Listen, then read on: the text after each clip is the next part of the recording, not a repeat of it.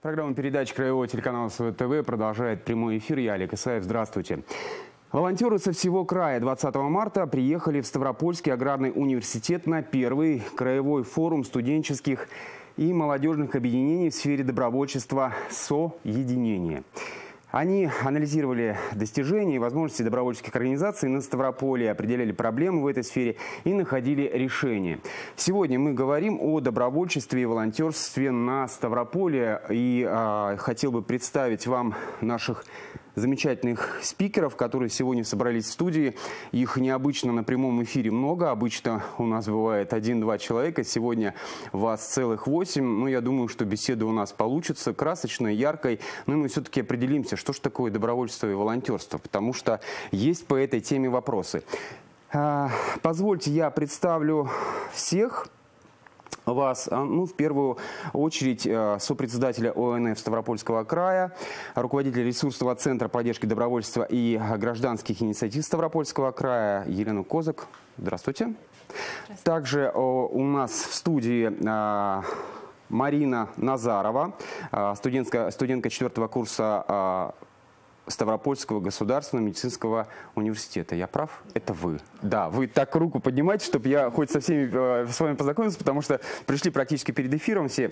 А, Инна Кулиева, а, штаб волонтерских отрядов Здравствуйте, это вы. Очень приятно.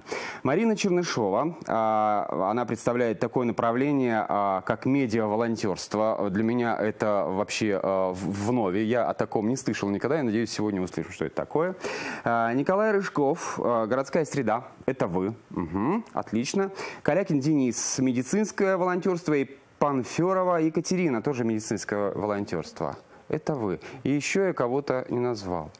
Как вас зовут? Возьмите микрофон, представьте, пожалуйста, потому что мы... Павел Богданов, э, представляю проект «Чистые игры», э, волонтерский отряд «Эколог» Ставропольского аграрного угу. университета. Ну и можно много еще чего добавить Регалий много к этому да, списку, но Есть. я думаю, мы не будем на этом задерживаться. Да, я думаю, что э, всего понемножку мы сегодня в эфире э, обо всем поговорим. Елена, первый вопрос к вам. Что это за форум? А, я сейчас озвучил какие-то общие моменты, которые на всех информационных сайтах проходили, но все-таки хочется поподробнее узнать, потому что, насколько я понимаю, мероприятие достаточно а, масштабное было. Расскажите о нем, что это такое было? Действительно, форум соединения, который состоялся на гостеприимной площадке Аграрного университета, а, стартовал нашу большую работу по э, развитию добровольчества в Ставропольском крае. Конечно, э, много очень проектов и практик успешных волонтерской деятельности на Ставрополье. Есть чем гордиться, но, как э, говорится, нет предела совершенству, и всегда есть к чему стремиться. А, Поэтому вот э, первой такой э, значимой площадкой в этом году э, стал организованный в первую очередь силами добровольческого штаба Аграрного университета и профсоюзной организации, а также ассоциации э, студенческих организаций. Э, вот такой замечательный форум, который собрал более 100 волонтеров, организаторов добровольчества именно студенческих волонтерских объединений. Но, конечно, это была только первая площадка. И дело в том, что в течение вот этих двух недель мы шли в развитие этой истории.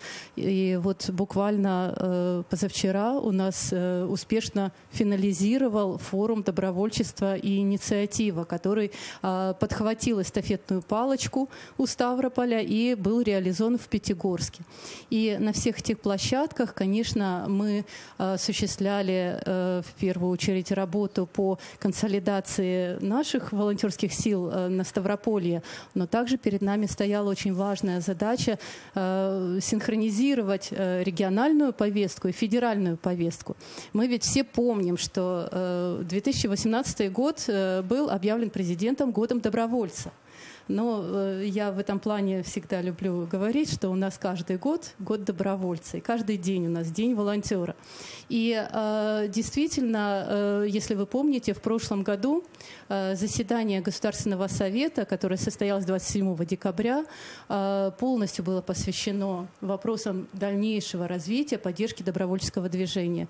И на наших форумах мы в том числе вместе с организаторами добровольчества, вместе с социальными партнерами, а это и органы власти, местного самоуправления, это социально ответственный бизнес, это, кстати говоря, СМИ, от которых очень зависит популяризация добровольчества, это то, чем Что мы сейчас, сейчас занимаемся делаем, вместе да. с вами. Мгм. Да, спасибо вам огромное за это, вашему прекрасному телевидению. У нас уже, кстати, очень много креативных идей о том, как это будет дальше происходить.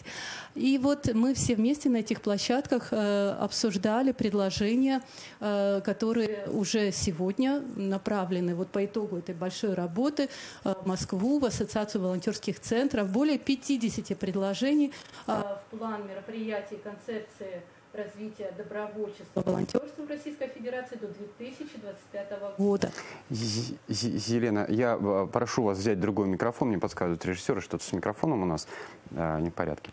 А я надеюсь, меня слышно? Вас слышно, вы не переживайте. У нас замечательная аппаратура здесь в студии. Елена, я э, в- хотел по ходу задать вопрос, но вы так рассказываете интересно, трудно перебить. Спасибо. А, а вообще в Ставропольском крае у нас сколько волонтеров? Вот какова их численность э, на сегодняшний момент? Это хороший вопрос, не только для Ставропольского края. Мы понимаем, что волонтеры есть формализованные, есть неформализованные. Вот если говорить о формализованных волонтерах, то есть э, это те люди, которые фигурируют, ну, скажем, это неприятное для всех живых и активных людей слово, фигурируют в отчетности. Да?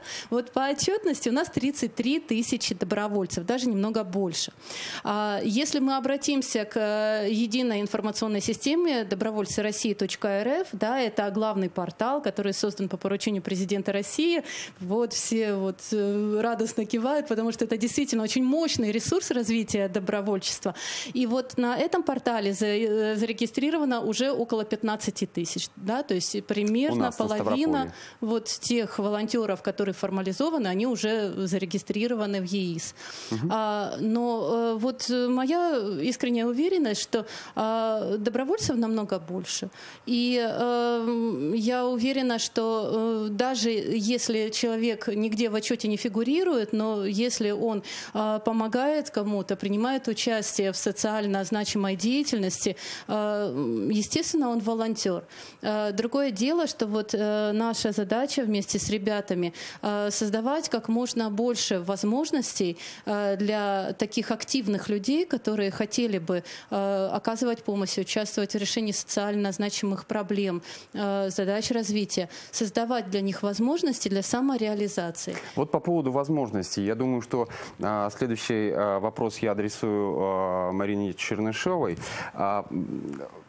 Медиа волонтерство. На самом деле это, это вот как? Это телеканал, это телеканал бесплатно а, работает или а, это то, о чем вот говорила Елена, а, в, пропагандирует а, вот это движение? Э, На самом деле получается странная штука. Все знают, что такое волонтеры, а начинаешь спрашивать, а что же именно в твоем представлении волонтерство, добровольчество? Ответы порой обескураживающие разные. И в конце концов человек говорит, да бог его, бегают там, кто-то что-то делает, сами, наверное, пиарятся. И, к сожалению, э, мы проводили общественное обсуждение, буквально вот позавчера Елена Михайловна сказала, что был форум в Пятигорске, и очень хорошо мы прокатали буквально на общественных дискуссиях. У нас было несколько площадок с разными людьми, мы просто прокатали вот эти моменты, и мы поняли, что не все так просто. Э, Иногда очень, казалось бы, очевидные вещи на самом деле не очевидны. И сами иногда волонтеры бывают разные, и сами ребята по-разному, кто вовлечен, представляют себе волонтерство.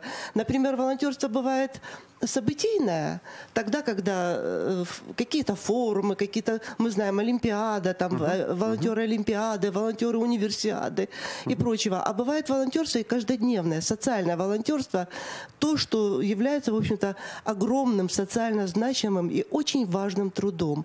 И мы сейчас как раз стоим э, перед задачей немножко переориентировать или просто дать понять, что, ребята, ведь волонтерство это не то, что там туристов встретить, провести, или туристов, или участников там помочь, а ведь волонтерство это еще и каждодневный труд в домах престарелых с детьми, с инклюзией.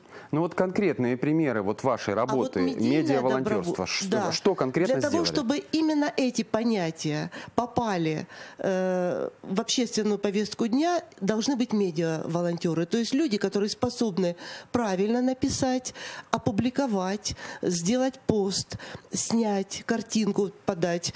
И вы знаете, существует целый пласт социальной э, видеопродукции. Э, в Пятигорске у нас был очень интересный гость э, Матвей Масальцев. Это э, федеральный, уже международный фестиваль «Лампа» социального видеосюжета. Там и социальный ролик, и э, реклама. И вы знаете, это потрясающие сюжеты по глубине души. Раз коротко, в двух-трех минутах рассказывающие историю людей, которые пришли и, например, стали э, клоунами в хосписах, стали э, какими-то тьюторами для детей с инклюзией. А вот Понимаете, говорить об этом очень легко, делать очень тяжело, ведь а это каждый где, день. где эти сюжеты можно увидеть? Вот э, У нас мы на теперь, мы федеральных каналах такие сюжеты показывают? Мы теперь пришли к выводу, кстати, одним из главных выводов нашего форума в Пятигорске, который продолжил площадку Ставропольскую, и стал, что без медийного сопровождения, что медийное сопровождение есть один из основных ресурсов развития добровольчества. Ну, слово пропаганда сейчас не в почете, как только они называют амбассадорство там, э, и так далее. На самом деле продвижение вот этой идеи должно быть через э, каналы, через СМИ. Угу. К сожалению, не всегда мы находим понимание, не всегда эфирное время требует денег. Мы все это знаем. Но в то же время есть площадки, как свое ТВ, спасибо вам, которые согласны работать, согласны предоставлять время для этой тематики. Мы не просто согласны, мы, надеемся, мы для этого и созданы. А, чтобы... Мы надеемся привести сюда фестиваль «Лампа», стать региональным представительством этого фестиваля и вовлечь людей, те, которые каждодневно... Поймите, журналист не может знать, что где-то э, в доме ребенка, где-то э, в доме престарелых, где-то в хосписе, где-то в онкологической клинике работает та или иная группа увлеченных, одаренных людей, которые приходят туда с, с мини-концертами. Это знают сами эти люди. И вовлечь людей вот в это волонтерство, простых людей. Ведь сейчас не нужна сложная техника, чтобы снять вполне приличный ролик. Это делают сейчас камеры телефона регионов. Спасибо, Марина. Я думаю, что следующий вопрос э, все-таки хочется э, задать Инне Кулиевой, поскольку вот я вижу, что э, она представляет штаб волонтерских отрядов, э, то есть аккумулирует э, в себе знания всех, о всех волонтерах, которые у нас есть в Ставропольском крае, ну хотя бы в краевой столице. Не секрет, что в ближайшем будущем мы принимаем огромное мероприятие, Международную студенческую весну, а такие мероприятия подразумевают как раз наличие вот этих самых добровольцев-волонтеров, которые помогут нашим гостям, гостям нашего региона, краевой столицы, свободно ориентироваться здесь, а, чувствовать себя как дома, что называется. Вот это волонтерство, волонтерство гостеприимство, да, оно у нас как вообще, на каком уровне? Сможем мы а, потянуть? Ну, потянуть, я думаю, сможем, потому что это уже показала российская студенческая весна, которая прошла у нас буквально в мае 2018 года. Но это все-таки российская студенческая весна, э, э, где все-таки мы разговаривали на э, русском языке. А планка повышается, все, ага. так и должно быть. Я как раз руководитель Центра волонтеров студенческой весны стран БРИКС и ШОС, и сейчас мы буквально завершили отбор заявок на наш фестиваль. И, конечно, говорящих волонтеров у нас много, действительно, очень много достойных заявок мы получили. И сегодня мы понимаем уже по собеседованиям, которые проведены, что волонтеры, действительно, которые вошли в волонтерский корпус фестиваля, они достойны, они справятся, мы уверены в этом. У нас есть не только волонтеры, которые представляют Ставропольский край, но и волонтеры из других регионов и даже э, волонтеры-представители Грузии. Поэтому мы думаем, что, конечно же, волонтерство в сфере гостеприимства, мы его сейчас а, все-таки считаем больше событийным волонтерством, пока еще. Вот пока мы еще считаем его частью событийного волонтерства, оно у нас развивается, и то, что э, российская студенческая весна прошла у нас на таком масштабном высоком уровне, еще раз это подтверждает. Мы думаем, что в этом году будет только лучше. Ну, на самом деле, я с Мариной соглашусь э, в том отношении, что все-таки для большинства людей э, понятие волонтерства и добровольчество, добровольчество сейчас подменяются немного а, другим понятием. Все думают, что это вот такая общественная деятельность. Вот это человек, который бесплатно может куда-то проводить, что-то показать, ходит в такой футболке да, с логотипом а, того мероприятия, где он работает, все знает, у него везде есть грин-карты на все мероприятия и так далее, во все двери он без стука а, может войти. Но на самом же деле добровольчество и волонтерство – это помощь остро нуждающимся слоям, цитирую, слоям населения, не имеющим возможности помогать себе сами, самим. Старость, беспризорность, инвалидность и так далее. А, я думаю, что сейчас а, мой вопрос будет адресован тем а, нашим гостям, которые представляют медицинское волонтерство. Здесь два человека, Денис и Екатерина.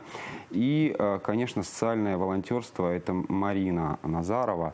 Ребят, по очереди мне бы хотелось узнать все-таки, что в понимании а по большей части волонтерством занимаются студенты все-таки у нас, что в понимании наших ставропольских студентов все-таки вот это понятие добровольчества, волонтерства и конкретные примеры вот этой помощи старикам, работы в хосписах, в больницах, там, где действительно тяжело, может быть, где-то неприятно.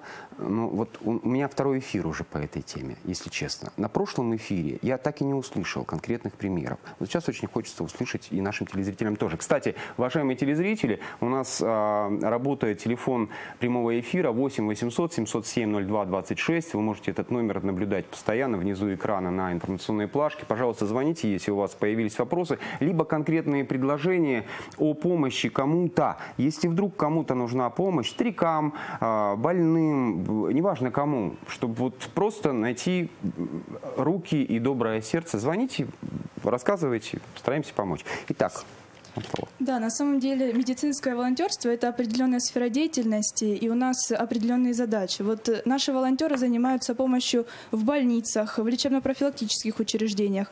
Э, недавно буквально мы помогали в одной больнице, были дежурства. Просто волонтеры приходили, и определенный график у них был, они дежурили, помогали среднему медицинскому персоналу, младшему медицинскому персоналу. Ну, такая посильная помощь нуждающимся. Вот. Также у нас, например, в университете разрабатывается проект помощи людям на дому. Э, социальная помощь, вот, но это направление только получает развитие, только начинает. Екатерина, а, а, Катя же, правильно? Да. Екатерина, а вот в больнице конкретно-то что делали? Помощь э, среднему медицинскому персоналу, это достаточно такое распространенное, э, такое широкое. Да, ни о чем. Вот конкретно, гладили простыни, гладили помогали простыни, с перевязкой больных. помогали с перевязками, делали инъекции средний медицинский персонал. Выносили судно. Да, да. Все вот что, чем занимается средний медицинский персонал, делали волонтеры. А, эти волонтеры это кто? Студенты, э, Студенты медицинского да, университета нашего медицинского университета. А, вот этой, э, этим направлением занимаются именно студенты медуниверситета или другие студенты тоже есть? Потому что, смотрите, вот студент медуниверситета, он же обязан это знать и обязан это делать, и для него это, в принципе, неплохая практика в больнице, пусть бесплатно, да, но э, поработать в больнице, понять, где эти шприцы берут, откуда берут бинты, э, как это все делать, это нормально абсолютно для него. Он и так практику проходит. А вот другой человек, который к этому абсолютно никак отношения не имеет. На самом деле у нас такой практики нет. У нас волонтеры из других университетов, они занимаются, например, профилактикой здорового образа жизни. Вот аграрный университет, там есть целое направление. Вот. Потом э, помощь... Это значит что? Здоровый образ жизни, не пить, не курить? Здоровый образ жизни? Ну, не только. Правильно заниматься спортом. заниматься спортом, да, правильно питаться. Мы, например, как волонтеры-медики, более знаем эту тему, и мы как бы профилактируем э, заболевания. То есть э, у нас и профилактика заболеваний, и мы объясняем людям, если они, нап- например, больны сахарным диабетом, как они должны э, вести свой образ жизни. Катюш, конкретный пример. Смотрите, два- а, 20 марта у нас Международный день против туберкулеза. По-моему, 20 марта проходит. Да, Что-то да, в да, этих числах? проходили Что акции. конкретно проводили вот к, этому, к этой дате? К этой Волонтеры. дате мы в школах проводили мастер-классы для школьников 8-9 класса, профилактика туберкулеза. Вот. И также в туб-диспансере проводим каждый год для деток э, веселые старты, там с призами. Вот. Я вот хотела добавить, мы э, буквально недавно ходили со студентами медицинского университета в геронтологический центр. Дело в том, что у нас есть два проекта, которые направлены на сопровождение людей с ограниченными возможностями а, для прогулок на свежем воздухе. Дело в том, что в геронтологическом центре, если мы говорим о студентах, которые не имеют медицинского образования, чем они могут помогать? В геронтологическом центре очень много людей, которые а, имеют ограничения по здоровью и самостоятельно не способны выходить на улицу. А это для их здоровья очень важно. И здесь помогаем именно мы. Мы э, организовываем прогулки, берем коляску, выезжаем с этой коляской на улицу и, соответственно, организовываем прогулки на территории этого центра. Совсем недавно мы организовали это со студентами медицинского университета. У нас есть два похожих проекта. И вот после форума, который прошел у нас а, в университете в Аграрном, мы как раз решили делать это вместе. Это э, к вопросу о том, чем могут заниматься как раз студенты, не имеющие медицинского образования. Мы считаем, что эта помощь, она очень необходима, потому что хотя бы раз в неделю, хотя бы шесть человек, но мы вывезем и мы поможем а, с поддержанием вот их здоровья. Это очень важно тоже для них сегодня. Просто поговорить с ними важно. Да, Это еще это тоже, к- к конечно, вопросу мы это соединения, да, вот уже объединяются волонтеры разных университетов, разных направлений. Ну и, кстати, я вот хочу в защиту Кати сказать, а, то, что они обучаются Почему в в медицинском защиту? университете, да, а, э, не означает, что и свободное свое время они э, должны э, посвящать и посещать э, медицинские учреждения, оказывая помощь и пациентам, и медперсоналу. Правда же? Действительно, у них есть практики учебные и производственные, в рамках которых они должны это делать. Но в свободное время, когда молодые люди, студенты идут в больницы и оказывают вот такую помощь, и, ведь они оказывают ее от души. И на самом деле и пациентам помощь такая нужна, но нужна и медикам, ведь у них э, очень благородно, при этом очень сложная, да, социально сложная профессия. И вот э, ребята там просто как, как свет в оконце, да, такой огонек, который э, согревает и приносит свет. На самом тепло. деле это здорово очень. А, знаете почему? Потому что когда, особенно в э, геронтологические центры или адресно а, в какую-то квартиру, в дом а, приходит молодежь, вот ухаживать за стариком, просто быть рядом, а, пожилые очень сильно привязываются к этим людям. И если это сделано не от сердца, то потом, ну, я вот один-два раза схожу, человек уже привязался за один-два раза, а потом я больше не приду. Вот это на самом деле страшно. И главное, чтобы современная молодежь это понимала. Мы делаем это постоянно. Да, и вот вы знаете, Системно. такая же ведь есть беда и с э, детскими домами, с детьми-сиротами. Ведь у нас э, хватает вот таких проектов, да, когда э, под Новый год раз в году карму почистить, да, и мы идем в детский дом, несем туда подарки, айпады, айфоны, игрушки. Э, мало того, что пользы не приносим никакой детям, Детские воспитанникам дома детских. Э, Да, есть и такие прецеденты, когда у нас э, крупные организации, значит, вот таким образом а, свою социальную ответственность реализуют. А на самом деле этим ребятам нужно, чтобы к ним пришли наставники э, с э, производства, кто-то был рассказали о рядом. профессиях. Да. Взрослый, чтобы умный, пришли, мудрый. да, старшие товарищи, старшие братья, старшие сестры, да, и э, чтобы стали тем связующим звеном, ниточкой между социумом и тем, ну, достаточно изолированным миром, в котором живут дети из детского дома. И вот это действительно очень здорово, что ребята такую живую работу проводят. Вы добавить что-то хотели? Да, можно? Давай, да, да, по конечно. поводу условных таких э, проектов, которые посещают там, э, делают какую-то ненужную на самом деле вещи для детей. То, например, заваливают их э, на Новый год подарками, конфетами, да. Или, ну вот случай конкретный, да, что до 17 раз э, приходят бесплатные Дед Морозы.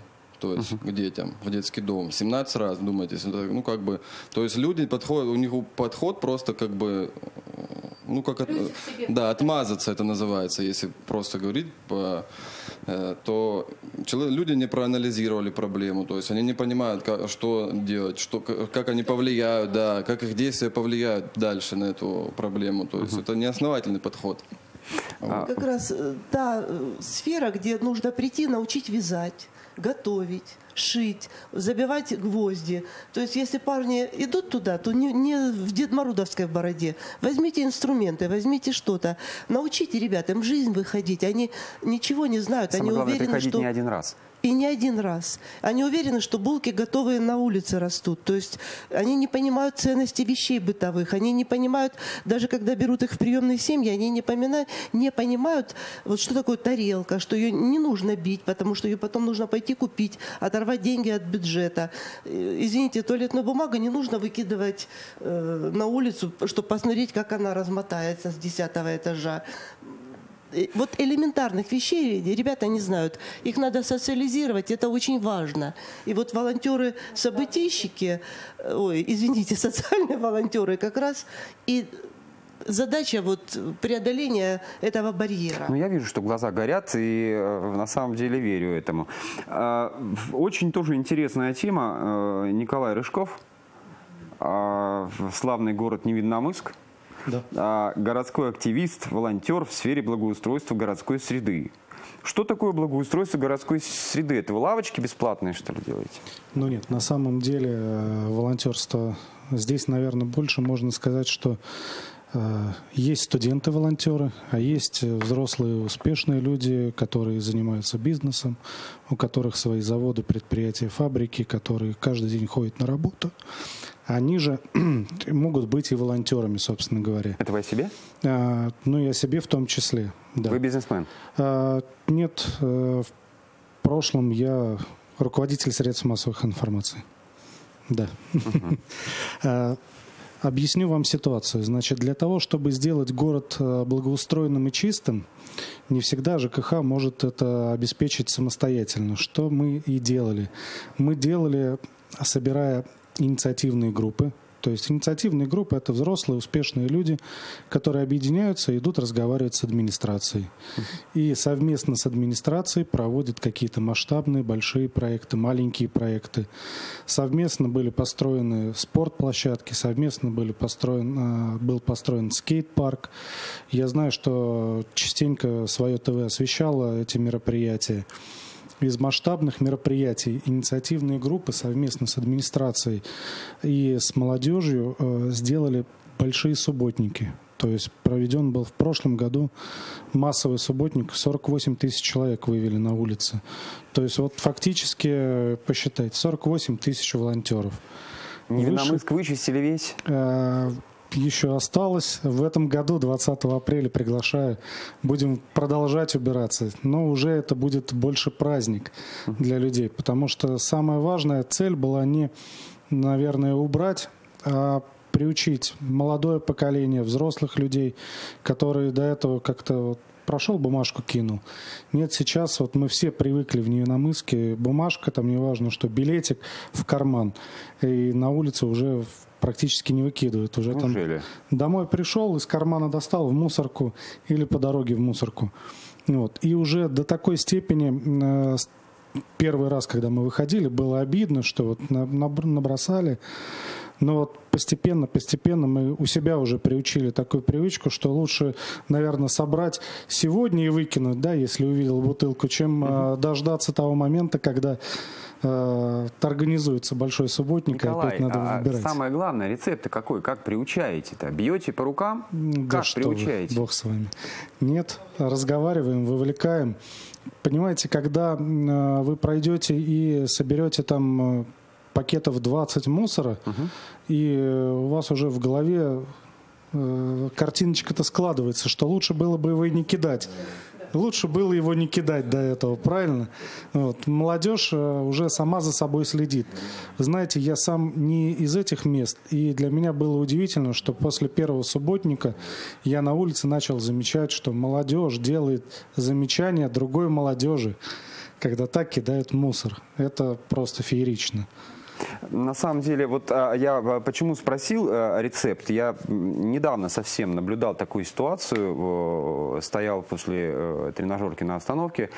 Молодой человек, совершенно, видимо, студент какой-то, подошел а, к этой же остановке, встал перед урной, покурил и выкинул бычок не в урну, он выкинул бычок назад на тротуар. Если честно, подошел автобус, да и я бы не рискнул э, к нему подойти, потому что, ну, э, еще есть такие предрассудки, потому что он больше меня был в два раза, этот студент. Ну, вот так. Я поэтому и спросил, а как приучать-то? Ну как? Вот как вдолбить в головы, что нужно бросать в урну мусор? Ну, а кто-то прошел с этим мусорным пакетом, собрал туда все бумажки, да? Но это он один человек, а еще сто. Просто посмотрели, извиняюсь, посмеялись и сказали, ну хорошо, он теперь будет все время так ходить. Ну вот э, для того, чтобы вы понимали, э, в отчетах о субботниках э, фигурируют цифры, там вывезли там 10 КАМАЗов там, да, мусора. Ну, То есть это объемно, да. А у нас было вывезено почти тысяча с копейками КАМАЗов мусора. То есть это очень много. То есть это не просто покидали мусор, то есть это залезли в самые недоступные места и оттуда собрали уже залежавшийся мусор. Поэтому молодежь сейчас, э, видя чистый город, ну, по мне так старается не мусорить. Слушайте, если это так, то честь и хвала на самом деле, потому что хочется, чтобы, как э, говорил наш губернатор, чтобы у нас э, в Ставрополе не было свалкой.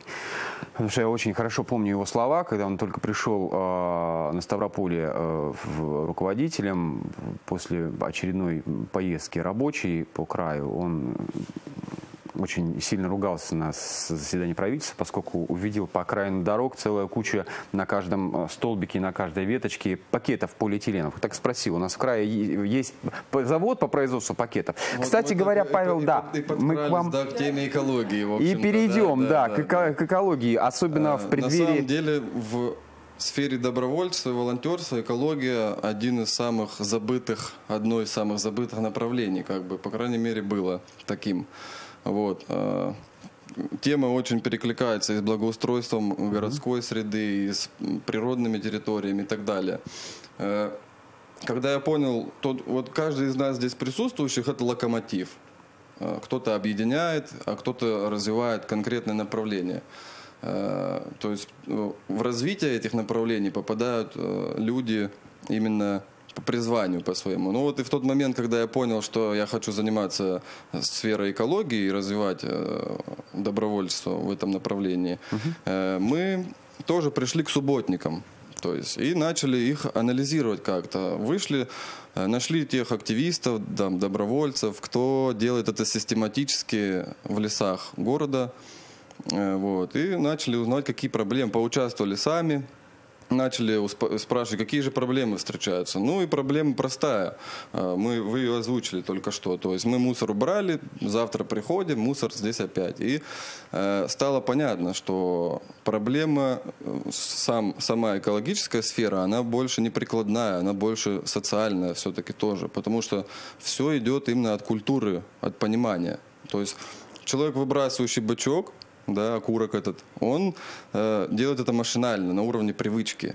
Вот. И э, как-то вот надо клин клином вышибать, да, и на уровень привычки выводить э, какие-то экологичные движения, да, то есть темы.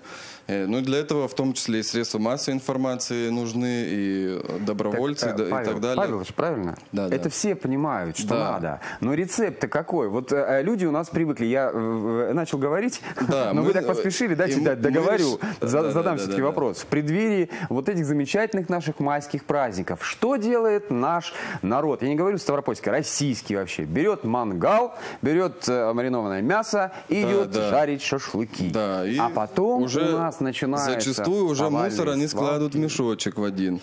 И очень часто это попадается. Вот мы этого Не видел ни разу. отслеживаем. Потом эти Мы мешочки лежат в лесу просто. Да. Ну да, да, да. Но это уже сдвиг какой-то, хотя бы он не разбросан и так далее. Так вот, что мы решили делать? Мы э, начали искать какие-то подходы непростые к субботникам и нашли такой проект, например, как «Чистые игры». Это игровой формат субботника, э, с раздельным основой, и все, все соревнования основаны на раздельном сборе мусора. То есть мы не просто уже как бы убираем территорию, мы еще и сортируем отходы. То есть тот, кто не сортирует, он ну, уже не может выиграть. Кто там. участвует в этих играх? Э, Все. Все, Все, кто все возраст. слои населения. Де- э, родители с, с детьми приходят, семейные, то есть э, команды бывают. Бывают школьные, бывают э, студенческие, бывают э, и даже пенсионеры бывают к нам приходят. Так что как бы и даже Это- были это, команды, э, где Вы занимаетесь которых, этим только в Ставрополе, в краевой столице? э, Нет, и в крае развиваем этот проект, например, тоже. Но и это не единственное направление, как бы. Более прикладное направление, это, например, посадка деревьев. Э, Тоже важная тема, например. И это больше, как бы мы стараемся детей вовлекать в эту деятельность. Ну, на самом деле, вы э, правы в чем? В том, что в- и об этом уже давно и долго и упорно говорится, в частности и в СМИ тоже, о том, что у нас э, пропала куда-то культура. И мне кажется, что те вот ребята, студенты, да, э, школьники, э, старшеклассники, которые мусорят, им все-таки не заложили родители, наверное, в первую очередь. Во-вторых, не заложили в головы э, в той же школе, что мусорить нельзя это а, твой дом, это твоя земля. А вот в школах, в университетах с преподавательским составом, с педагогическим составом, как с ними-то вот работают? в Вот, например, у нас был есть опыт работы со школами, мы проводим экологические уроки для начальных классов.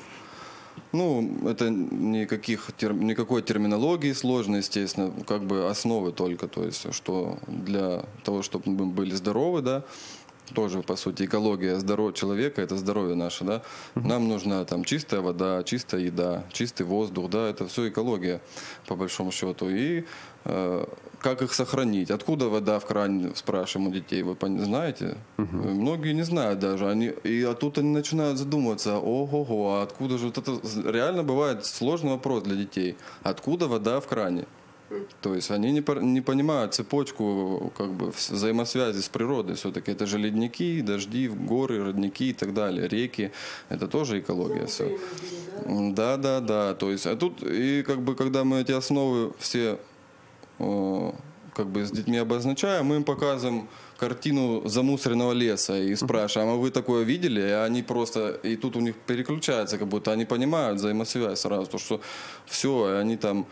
Как узнать, где ваши чистые, чистые же игры, правильно? Да. Как и где ваши чистые игры будут проходить? Э, вот простому человеку, ближайшие- который сейчас нас смотрит. Ближайшие чистые игры пройдут 7 апреля в, эту, в, это- в этих выходные, воскресенье, э, в городе Михайловске. Где сбор? Э, Сбор на конечной э, первой маршрутке. Э, Вот, это район Снисх. Э, Будем чистить э, сквер э, этого района Снисха. Ну, местные его называют розарием или старым дендрарием. Ну, на самом деле, я еще в довесок ко всему э, ландшафтный архитектор, как бы, и оцениваю такие объекты очень э, ну, неравнодушен к ним. И на самом деле это уникальный объект ландшафтной архитектуры для края нашего. Вот. И мы решили его вычистить.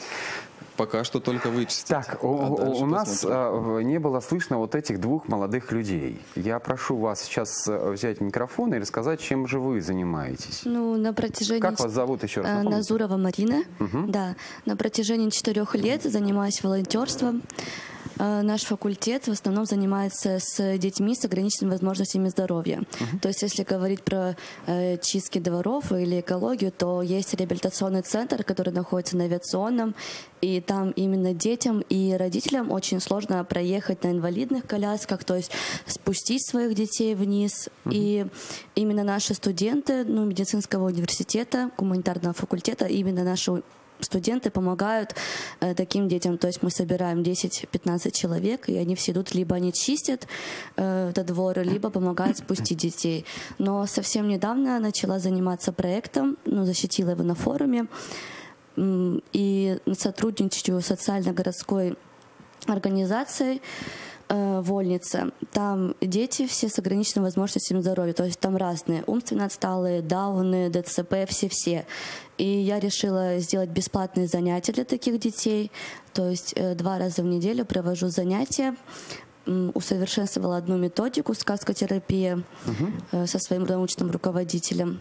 И мы сделали сказку терапии с видеопросмотром и проговариванием. Я то надеюсь, есть... русские сказки показываете? Конечно. то есть э, я показываю, то есть детям вообще в основном интересно не то, что там мы им объясняем, а именно если сказочным героем будут, они будут их больше воспринимать. То есть я включаю сказку, где определенный персонаж, герой, который им нравится, то есть до этого я спрашиваю, какие герои им нравятся, э, проводят зарядку, то есть э, упражнения выполняют. И они повторяют именно за этим персонажем. То есть, если это буду я им показывать, то есть они будут еще вредничать, там нужно будет к ним подходить. А если будет именно показывать сказочный герой, то есть они смотрят с, с интересом. Э, помимо этого, сказочный герой произносит слова, они тоже за ним повторяют эти слова. И то есть э, я уже вот, ну, работаю на протяжении трех недель, и результаты видны. То есть, если дети не могли э, ну, произносить ни букв, ничего, то уже потихоньку мы произносим слова. А вы э, будущая профессия ваша какая? Ну вот, я хочу именно с инвалидами связать, то есть с ограниченными возможностями здоровья с детьми. Социальный работник? Нет, это будет как идти адаптивная физическая культура. Угу. Угу, угу. Вот. У нас совсем немного времени. А, меня зовут Денис. Я руковожу, а, занимаюсь направлением донорства а, в нашем медицинском университете. Так как донорство является частью здорового образа жизни, поэтому каждый студент-медик должен сдавать свою кровь и ее компоненты так как заниматься медицинской работой не, э, так же важно, как и заниматься волон... каждый, э, каждый простите, не волнуйтесь, все нормально, все хорошо. А, каждый медик является волонтером в своей душе. А, сдавая кровь, он пом- может помочь люб- абсолютно любому человеку. В нашем э, университете реализуется э, ряд мероприятий, посвященных донорству. Э, например, кровь э, студентов-медиков э, во благо жизни э, будет реализовываться, например, с 15 по 19 Какое интересное название, немножко кровожадное, конечно. Кровь студентов-медиков во благо жизни. Есть, хорошо. Мы также мы занимаемся событийными мероприятиями, то есть посвященные Национальному дню донора, посвященные Всемирному дню донора. Ну и помимо этих мероприятий, каждый студент большая часть студентов медицинского университета добровольно ходит сдавать кровь э, регулярно, 3-4 раза в год. Вы знаете, ни, ни в коем случае не сомневайтесь по поводу э, студентов вашего университета, потому что э, руководит замечательный человек вашим университетом. Э, Елена, у нас э, очень мало времени до конца эфира. У меня есть вопрос, и я бы хотел от вас получить четкий ответ. Если э, вы вдруг не знаете, то от кого-то из ребят. Э, и короткий ответ. Не так давно я снимал сюжет в Михайловске, э, где у одной из поликлиник не было пандуса для того, чтобы э, въехать на коляске. Нормального пандуса, который предусмотрен ГОСТами и СНИПами. Э, так вот, женщина, которая возила в эту поликлинику свою взрослую дочь, на инвалидной коляске, она не знала, к кому обратиться. Выбиваясь из сил, она поднимала эту коляску по имеющемуся пандусу вот с таким уклоном сама. Если у нас в крае ну хорошо, в Ставрополе, э, телефон, по которому можно обратиться таким людям и попросить помощи у добровольцев. Смотрите, э, конечно, вопрос э, пандус поменять, да, это Нет, не вопрос пом попросить да, помощи. А вот помочь. Помогите мне да. поднять, помогите мне наколоть дрова, помогите мне передвинуть мебель тяжелую, бабушка звонит. Вот телефон. Да, вот э, как раз в ближайшее время такой единый телефон у нас появится. Э, ресурсный центр поддержки добровольчества и гражданских инициатив. Это как раз и будет такая своего рода общественная приемная по всем вот направлениям здесь присутствующим и не присутствующим, э, готовая принять заявки и ситуативно помочь, поскольку у нас в каждом городе есть волонтеры, и мы будем понимать, кому перенаправить в этом городе или даже сельском поселении эту заявку. Есть. Да, и А, вот я все-таки хочу с- здесь у нас- сказать, у нас что 15 секунд у осталось нас, эфира, э, Елена. волонтеры не вместо власти, а вместе с властью Вместе с придумывают властью, конечно. крутые вот такие решения и помогают людям. Вам от всего сердца и от всех наших телезрителей, от нас, от нашей телекомпании спасибо большое. Всегда рады вас видеть в нашей студии и э, в наших стенах. Всегда готовы помочь. Э, дорогие телезрители, сегодняшняя тема была добровольчество и волонтерство на Ставрополе. Я думаю, посмотрев на этих ребят и послушав их, можно с уверенностью сказать, что они, оно- они эти понятия э, в действии у нас есть. С вами был Олег Исаев. Вы смотрели прямой эфир. Доброго вечера вам. До свидания.